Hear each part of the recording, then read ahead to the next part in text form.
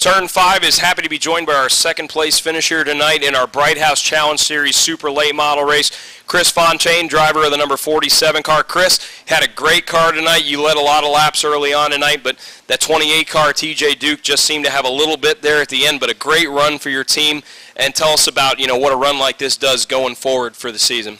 Yeah, we're real excited. Um, he just had a little bit more than me at the end. I got to him, uh, put the bumper to him, and it kind of messed me up too. Um, but it was a good race for us. Our car is really strong. Hated to see that caution uh, when we were in the lead. Um, the last race I picked the inside on the restarts and it bit me, and so this time I picked the outside and I still couldn't get it done. But uh, the guys worked really hard on this car, and um, we're just ready for the next one and try and do it again. Yeah, you guys are going to be back out here May 31st. You know, just a quick little turnaround, and the super late models are going to be back out here again. I mean, your team has been so competitive so far this year, and you guys have been so close to picking up a win here at DeSoto. What, I mean, what do you think it's going to take to get you guys just over that little little edge there to try to pick up a victory here?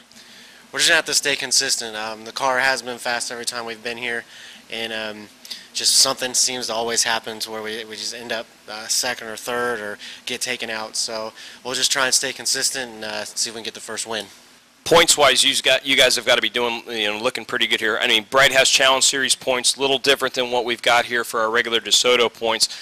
Never too early to start thinking about points. I mean, we're coming up here. You know, heat of summer's starting up here. How do you think you guys are looking championship wise, both in the Bright House Series as well as in the DeSoto Series?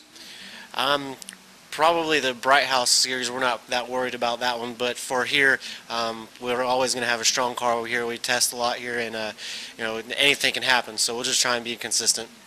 Well, if you're coming out here to check out the super late models, you want to check this guy out. He's near the front every single time that we come out here. I mean, I, I don't think I, I've had a race yet this year where we haven't got to call your name up there running in the top three. Chris Fontaine, another great run for you and your and your team here tonight for the super late models. Check us out. We'll be back out here May 31st. Chris Fontaine and his team, they'll be going for a victory that night.